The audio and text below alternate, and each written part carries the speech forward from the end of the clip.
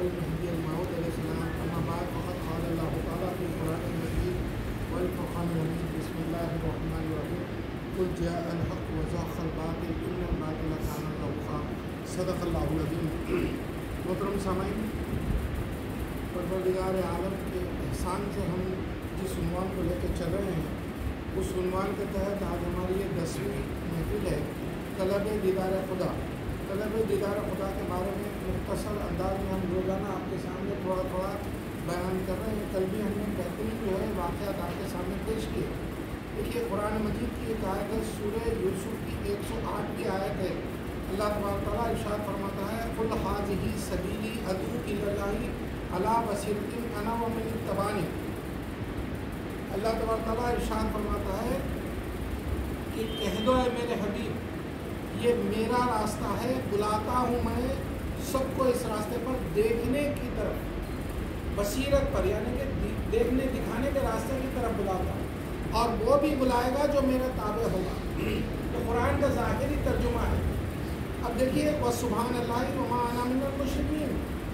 जो है, अल्लाह के रसूल वसल्लम को अल्लाह तबारा कह रहा है कि और ये कह दो कि अल्लाह पाक है और मैं मुशरकिन में से नहीं हूँ। ये ज़ाहिरी तर्जुमा है।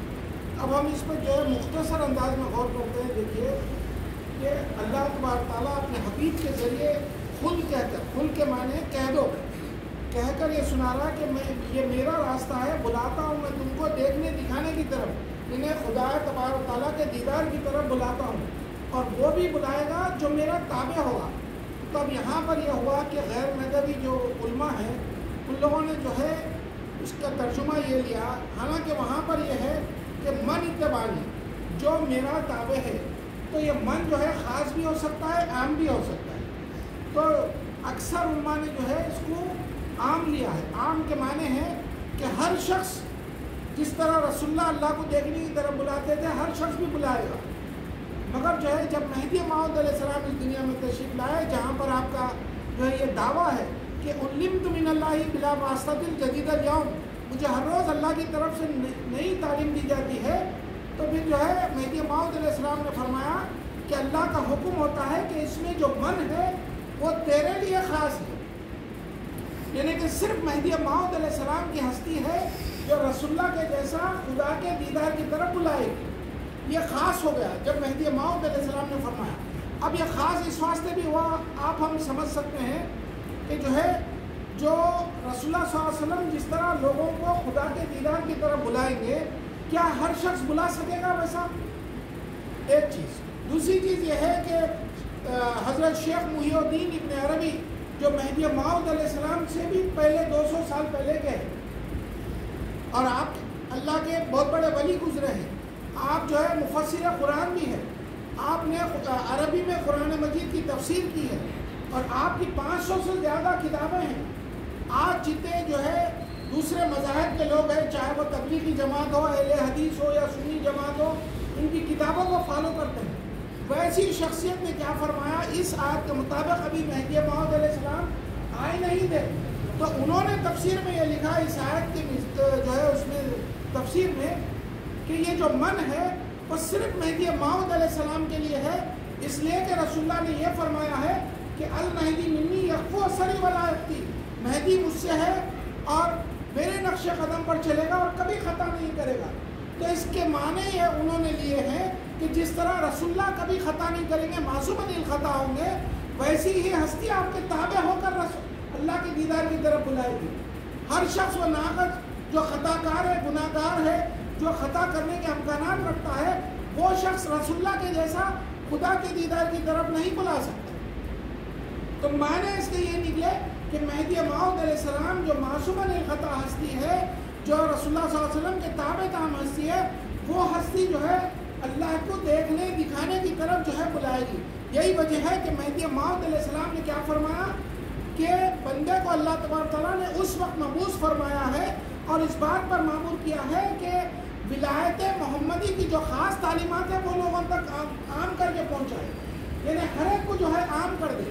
खुदा तबारा को देखने का जो रास्ता, जो बात हमने जब शुरू की थी पहली महफिल में हदीस जब्राइल की।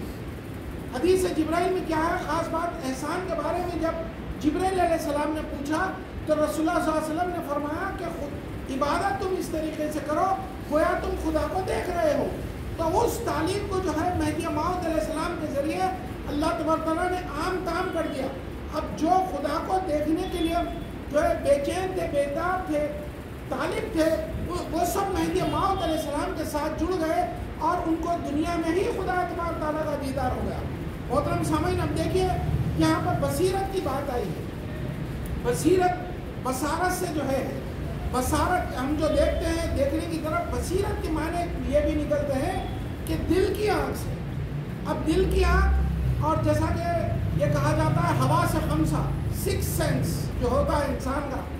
कैसा था? जो लोग जो है, अल्लाह तबार को देखने, दिखाने पर जो है जो है मामूर थे, उन लोगों ने दूसरों को बुलाया भी और जो देख चुके थे, दुनिया में जो है मासूम ख़ता ना होते हुए भी जो जिन्होंने खुदा तबार को देखा, उनका भी मुकाम इतना बुलंद हुआ, उसको जो है आप ये महसूस कीजिए कि हज़रत उमर फ़ारूक रज़ी तु जब उनकी खिलाफत का दौर था, आप खुतबा दे रहे थे। ऐसे में जो है हालाँकि आप जो है वो खुतबा देने से पहले, चंद दिन पहले एक लश्कर को जंग के लिए भेजे थे। वो बहुत दूर, नहाबंद एक मकाम है, वहाँ पर बहुत दूर जाकर वो लश्कर जंग कर रहा था। और इधर हज़रत उमर फ़ारूक रज़ी अल्लाह तु खुतबा दे रहे थे। खुतबा देते हुए आपने जो है ये जुमला फरमाया कि, ए सारियातुल जबल, यानी कि, ए सारिया, पहाड़ की तरफ़ मुड़ जा। फिर आपने जो है, फिर एक बार फरमाया, तीन मरतबा ऐसा आपने खुतबे के दौरान फरमाया। आपके ऊपर यह इल्ज़ाम लगा कि आप जो है दीवानगी दीवानगी इख्तियार कर लिए हैं।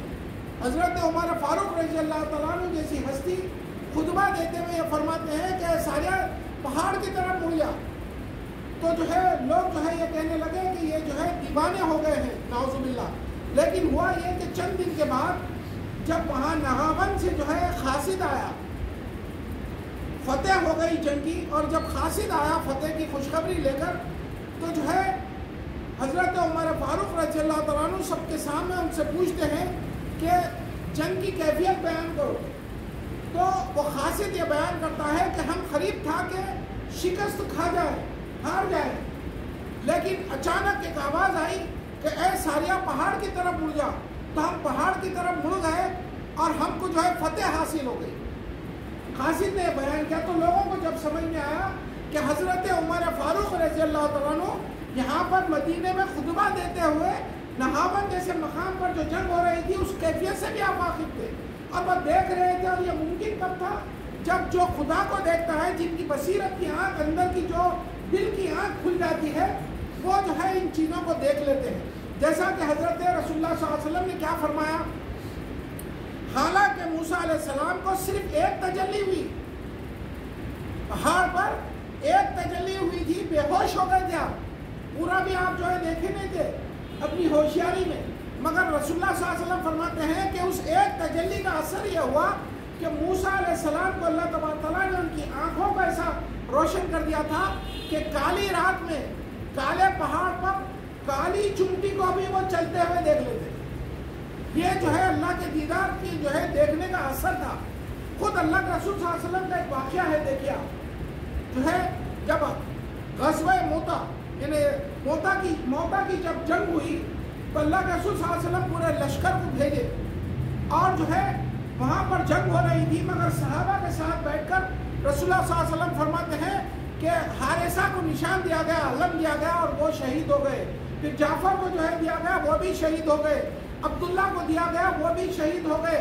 और खालिद बिन वलीद के हाथ में जब जो है झंडा यानी जो है अलम दिया गया तो अल्लाह ने उनको फतेह दी। हालाँकि वहाँ पर जंग हो रही थी और उसी वक्त रसुल्लाम ये वाक़ात बयान कर रहे थे। जब जो है खासिद वहाँ से आया, फतेह होने के बाद जब खासिद आया, इसका नाम याला था, याला। याला ने जब जो है ख़त लेकर आया तो रसुल्लाम फरमाते हैं कि, ए याला क्या तुम जंग के बारे में बयान करते हो कैफियत? या मैं जो है उस कैफियत को बयान कर दूँ? तो याला ने कहा कि रसोल्ला आप उस जंग के कैफियत बयान कीजिए। तो रसोल्ला वसल्लम ने जंग के हर कैफियत को बयान कर दिया। तो रिवायत में आया है कि जो खासिद था याला जिसका नाम था, उसने कसम खाकर कहा कि अल्लाह की कसम जिसने आपको सल्लल्लाहु बनाकर भेजा है आपने पूरे के पूरे वाक़यात जो जंग के थे वो बयान कर दिए। रसुल्ला सल्लल्लाहु अलैहि वसल्लम जो है, ये कहते हैं कि अल्लाह तबार ने मेरे सामने ज़मीन के पर्दे हटा दिए थे। तो ये कब मुमकिन है, जो खुदा को देखता है और जो है देखने की तलब रखता है, अल्लाह तबार उसकी दिल की आँख खोल देते हैं। वो अंदर से सिक्स सेंस है, अल्लाह तबार के उन तजलियात को देखता है। देखिए, आखिरी एक बात देखिए। बंदगी में शाह खमीर सिद्दीक विलायत रज़ी जब गजब बद्र विलायत में मैदान में पहुँचे सुदरा संघ की जो है खामेल के मैदान में पहुँचे तो क्या हुआ? पहले दिन जो फतेह हुई थी, खामेल का मैदान था, उधर जो है बीस हज़ार का लश्कर था, बाज रिवायतों में है चालीस हज़ार का लश्कर था, और इधर जो है बंदगी मियाँ शाह कमीर सिद्दीक विलायत रज़ी के साथ जो है साठ फुकरा थे मैदान में।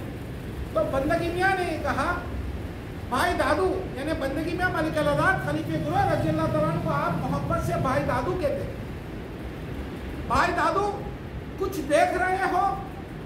तो बंदगी में मलिक अलाद खलीफे गुरु ने फरमाया कि खुदकार के सदक़े से देख रहा हूँ। तो कहा कि क्या देख रहे हो? तो कहा कि एक तरफ़ जलाल खुदाबंदी काम कर रहा है तो एक तरफ़ जमाल खुदाबंदी काम कर रहा है। तो आपने फरमाया कि आपने सच कहा। तो यहाँ पर कहने का मकसद यह है कि जब अल्लाह को देखने वाले जो बंदे देखते हैं, ये मत समझे कि किसी नूर के डल्ले को देखते हैं, बल्कि वो सिफात खुदाबंदी को भी देख लेते हैं कि अल्लाह की कौन सी सिफत कहाँ क्या काम कर रही है। हमारे पास खुदा तबार ताला को दुनिया में देखना ये मुमकिन है, उसके लिए तलब होनी चाहिए। सच्ची तलब होगी, अगर आपका दिल पाक होगा, नज़र पाक होगी ख्याल पाक होंगे, आपके मामला पाक होंगे आप किसी को धोखा नहीं देंगे, आप किसी के साथ कोई जो है खबर नहीं करेंगे, किसी को सताएँगे नहीं। यानी कि अल्लाह की ज़ात पाक है और आप उस लिहाज से पाक हो जाएँगे, ज़ाहरी तौर पर और बातिनी तौर पर। तो अल्लाह तबार ताला ज़रूर आपको दुनिया में अपना दीदार कराएगा। मेहदी माउद सलाम फरमाते हैं कि खुदा दिखता है, देखना ही चाहिए। खुदा तबार दिखता है, देखना ही चाहिए, फरमाते हैं। और मेहदी माउद सलाम ने यह फरमाया कि हर मोमिन मर्द और मोमिन औरत पर यह फ़र्ज़ है कि खुदा को देखने की तलब रखे। जो खुदा को देखने की तलब ही नहीं रखता तो वो इस मंजिल से जो है दूर है, जहाँ पर जिसका दीन ही पूरा नहीं हुआ। इसलिए कि हदीस जिब्राइल में जो है एहसान की तालीम है कि खुदा तबार ताला को देख कर इबादत करो। और रसुल्ला ने फरमाया कि जिब्राइल तुमको तुम्हारा दीन सिखाने आए थे। तो याद रखिए कि दीन मुकम्मल सिर्फ़ और सिर्फ़ महदवियों के पास हुआ है। इसलिए कि खुदा तला को दुनिया में देखना जो कुरान और हदीस से साबित है, जो रसुल्ला की तालीमत से साबित है, उस पर मुकम्मल अगर कोई अमल करते हैं और अकीदा रखते हैं, ईमान रखते हैं तो बस सिर्फ़ महदवी लोग हैं। हम खुदा तला को देखने की तलब रखते हैं। अल्लाह से दुआ है कि अल्लाह, हम सबको भी तुझे देखने की बे इंतहा तलब अदा फरमा और उस तलब के ज़रिए तू अपना दीदार अदा फरमा, हमको ज़ाहरी आँखों से भी फरमा, दिल की आँख से भी जो है और ख्वाब में भी तेरा दीदार हमको अदा फरमा। आमीन शुमा आमीन वाखिर